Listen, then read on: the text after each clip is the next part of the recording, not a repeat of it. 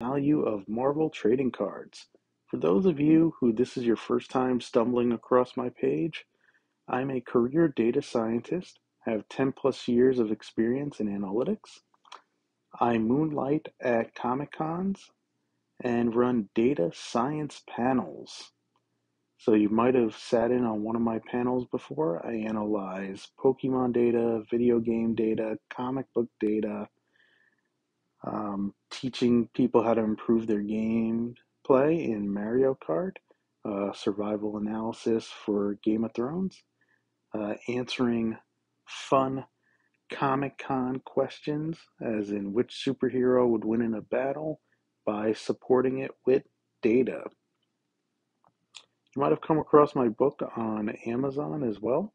It's a Pokemon data science book, and it's great for the young, aspiring data scientist or anyone who's early on in their career or just looking for a career switch or who loves Pokemon. So that's enough about that. Let's get into this analysis, which is titled With Great Data Comes Great Insights. Here's what we're going to cover an overview of Marvel card sales. I'm going to explain to you really quick what's included in the analysis. I'm going to show you a high level impact of the MCU, a causal impact time series analysis, which we'll use to evaluate more impact on a detailed level. Loki versus Daredevil. I'm going to show you my propensity score in action that I developed and what you should take away from this analysis as a whole. So let's begin with our overview of Marvel card sales. Marvel cards value saw impact in February and October. So what I did was here's a high level of all Marvel card sales via eBay Terapeak over the past 12 months. And you can really see two big spikes one in February 2021 and then also in October 2021. So, what is really going on? A couple of events happen in February, right? The Disney Plus shows launch. Uh, we also have the new interest in a 1990 Marvel Universe Impel set, which both of these events are helping drive up a total sold cards. And then in October, so Q4, we actually see an increase in average dollars sold per card. And really, the drivers are precious metal gems and modern sets, which is really putting the focus on serial cards, serial numbered cards. So limited cards, more rarity, higher value. So the point that I was talking about February is actually Marvel card sales more than tripled, right? So if I look at 30 days prior to WandaVision launch versus 30 days post, we actually see a 256% increase in total sales of Marvel cards. You actually have more sellers as well, 72%. Uh, just total cards sold, 130%. Then the average price increased by 55%. I do want to call out when you look at this graph over time, right, there is a decline that you can kind of correlate to PSA turning off its value segments, right? And other grading companies also being delayed in grading time as they are picking up demand from PSA shutting down, right? So makes you think that probably most of the sales in February were coming from people who are looking to grade and flip or just grade their own personal collection, right? So Grading is also very new to Marvel cards. Let me talk about that October period in Q4. I look at these same core KPIs, use the same approach. All I see is a 6% increase in average sold price, which aligns with serial numbered cards, right? There's fewer of them out there, but they're higher priced.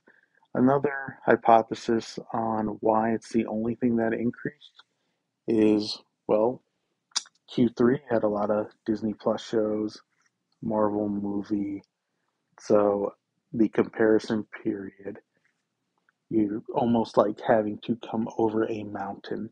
So that plus 6% increase really speaks to the value of those rare cards.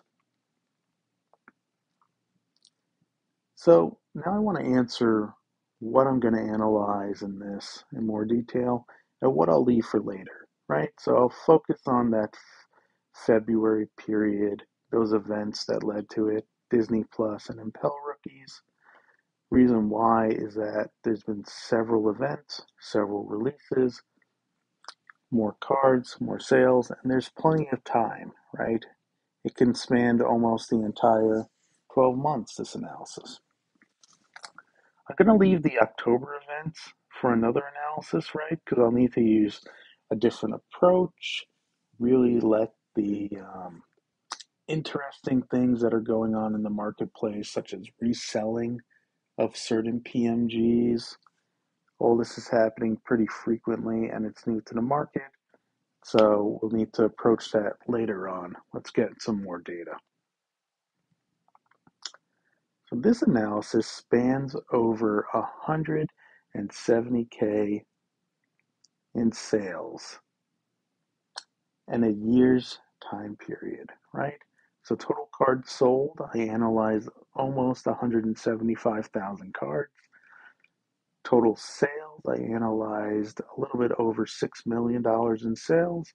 And total sellers, over 34,000. I looked at this over the past 12 months, right? So, and I included these five Marvel events. I'll go into the ones I excluded soon. So I included WandaVision, Loki, Black Widow, Falcon and Winter Soldier, and the trailer for Spider Man No Way Home. So that's three Disney Plus shows, a movie, and a trailer. Trying to really understand also if there's any differences based off of the type of Marvel event it is. So I excluded the What If series because almost every character is featured in that, right? So I wouldn't be able to have a control group. Without a control group, we can't get to incrementality and true lift of these MCU events. I also excluded Shang-Chi just because there wasn't enough pre-sales of Shang-Chi cards before the movie. So I would have been overstating the lift. But hopefully I give you a proxy on percentages, coefficients that you can use to evaluate those types of cards in the future. So this gets us into treatment cards. Treatment cards are any characters that are being featured in these Disney Plus shows, movies. So think of Loki, Kang, Black Widow, Spider Man, Doctor Octopus, Scarlet Witch, Vision, Falcon, Winter Soldier. All featured in these events. Our control group is going to be the 1990 Marvel Impel set, Series 1, and Daredevil. So Daredevil is a control, and I'll go into that later on about propensity match with Loki.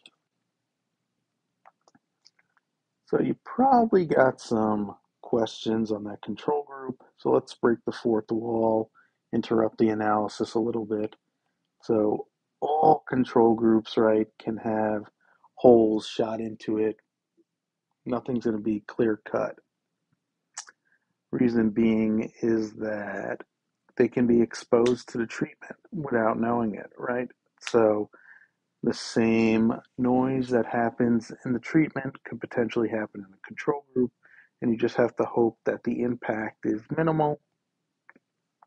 So, take for example, a black cat, black cat card being listed on eBay could have the word Spider Man in the title, could be because they're trying to get more views or just the set, right? So, this is where I think it's going to have minimal impact because it potentially is happening more often than you think. So it's going to be controlled for in both groups. Let's use our first data science technique, which is going to be propensity modeling. I just gave you on the screen the technical term for if you want to know. But essentially what it's going to do, it's going to give me a score of 0 to 1 for every Marvel character based off of what I'm trying to predict, what they have the propensity to do. And in this case, I leveraged a Twitter poll by Marvel. It was called Battle Royale, and Twitter users voted on which character would win in a matchup. So I then took back-end data from the mobile app game Marvel Contest of Champions, which had power levels, attack levels, health levels, defense, and used that to predict how many votes they would receive from the poll. So this is a technique to balance everyone and get look-alike approaches. So over here, I'm just showing you how if you don't do this propensity score, this balancing, it's very hard to put all Marvel on a scale together. If I look at it by attack, Rocket Raccoon's up there. If I look at it by health, you got King Groot and MODOK. Then if I look at it by power index, Thanos is number one. Even have Medusa jump in there as well as Green Goblin. So using all of those to predict the score will balance it nicely. Another question you probably have is where are you getting your sales data from? Well, I'm getting it from eBay's Terapeak. So as of this analysis, it's behind a paywall, which I really don't like to put things behind paywalls, but this isn't me, this is eBay. Uh, you need a subscription as a seller. But this allows me to search for individual cards, different keywords, and see the last 12 years of data. Sorry, 12 months of data. I take that back. So look at the MCU impact at a glance, right? So before I break down into incrementality, just overall, which is probably what you're hearing from most channels, right? So I'm going to look at 30 days prior versus 30 days post a, Marvel event. It's all time aligned, right? So that means everyone has equal 30 pre and post, regardless of when they launched. So 17% increase in total Marvel cards sold, 14% average price sold, 33% total Marvel card sales, 20% total Marvel card sellers. Good, healthy growth, right? So, really, it's driving short term impact. The MCU is driving only an incremental 2% increase in average price sold. So, what does that mean? I'm talking about how much more does a test group, so featured in an MCU event, drive in sales versus those who weren't, their control group, right? So our impact lowers, but it's true. It's more real. It's an accurate statement. These are where you want to apply those coefficients if you want to get an idea of like, okay, what can I expect if I was to sell a card during an MCU event and I'm pretty sure they're featured in it over the next 30 days it'll probably most likely sell for 2% higher than it was before. Part of that is because you'll actually have 11% more sellers selling the same card, 16% more cards sold, and just all of Marvel increasing its sales as a whole. That's where you get into supply and demand, correct? Now, each event isn't different, isn't the same, right? They're all different.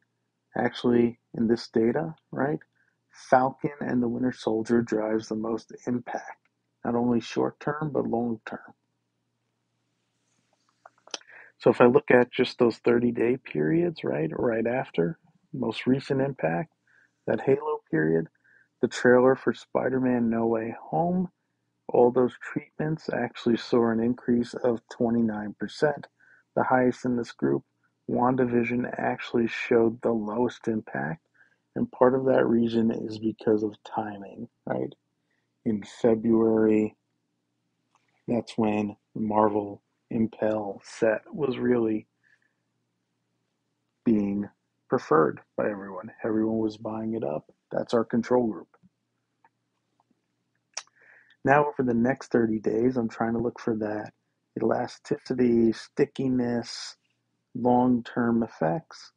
Falcon and the Winter Soldier is actually seeing a 46% increase. Loki now is in the positive. Spider Man No Way Home trailer is actually decreased. And this is where we start talking about the different type of Marvel events, right? So movies, trailers are going to have a much shorter impact.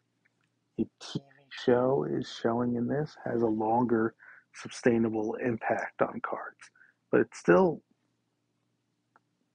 is only going to last about 60 days. That's what it's showing. True impact, 30 days after it happens. So now let me walk you through causal impact time series. In this case, we're going to run a multilinear regression.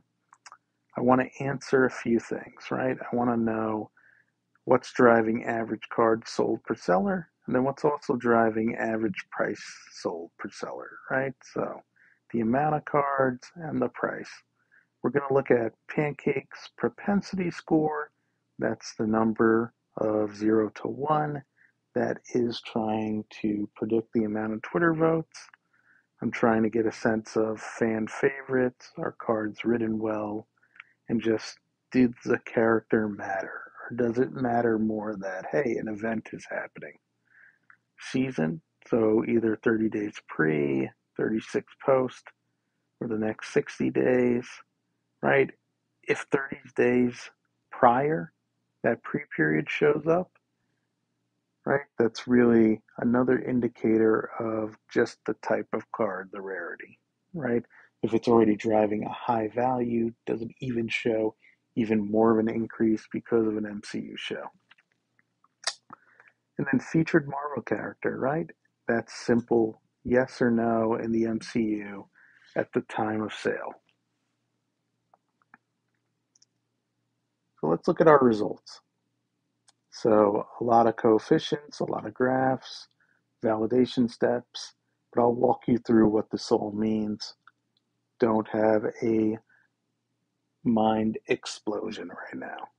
So being featured in the MCU drives total cards sold, right? So that means the top driver was are you in the MCU or not? Surprise, surprise. This is also the top driver for just average price sold as well. So this was expected as we already saw there was incremental incremental increases from the previous slides. So now let's go into just the MCU alone. And this is where it starts to get interesting, right? The top driver is actually the propensity score. So the type of character they are matters more than the timing, right? Whether it was the pre, the 30 days, or the next 30 days. So, type of character matters. So, I want to show you also how this propensity look-alike works. So, we run the propensity score. I'm looking for a match for Loki. It identifies Daredevil as a match because statistically they are the same character according to this. So their number is 0.54. So this actually puts them smack in the middle of the Marvel Universe. So when you're talking about averages, this could potentially tell you most about your population. So these numbers are going to be comparing Loki against Daredevil. within the first 30 days after an MCU event that Loki's involved in, right? We see an increase of average price by 11%, average card sold 27%. This is all good news, aligning with our broader results as well. Then we come to the 60 day period, which is interesting, right? So the next 30 days, we actually see average prices increase by 44%, but we're actually seeing a decrease in items sold, right? So downwards of 9%. So you can interpret that as maybe potentially Loki's price has just naturally gone up. Maybe rarer cards are up, more serial cards. But this is against Daredevil alone. So this is where we're starting to see that true impact of the MCU on the character specific level. Now you can use this approach also on certain sets, right? I would just have to run a propensity model based on these sets, not the characters itself. If you would find value in that, just always reach out to me on Instagram and we can discuss it uh, at pancake underscore analytics for that one. So finally, this is what I want you to take away from this analysis. The MCU is driving short term impact on value, right? So just over the next 30 days is true impact. And that aligns with anything that you see in marketing, sales data. That's why these models are accurate when it comes to trading card hobby, right? because really I'm just trying to predict behaviors of buyers, right? I'm not trying to predict really the value of a card itself. You're just trying to predict if it will be sold and at what price. I'm not predicting true value. Is all about seller mentality, buyer mentality, the market. So impact actually lessens when we look at a control group, right? So this is true impact. So the the time period that the impact is shorter and the true lift is actually shorter as well. So, but you can say 2% increase in sales coming from the MCU. There's going to be more sellers when an MCU event is happening. So, what do you want to do as a collector? right? If you're looking to move some items of MCU members, you probably want to do it sooner than later once the show launches. If you're looking to buy, you do not want to buy during an MCU event if you're trying to get it at the lowest price point, right? So essentially, what this analysis is showing you is that there's now an in season and an off season for Marvel cards. So hopefully you enjoyed this and just continue collecting what you like. If it's Marvel cards, we got something in common. Really appreciate you taking some time out of your day to let me speak to you about data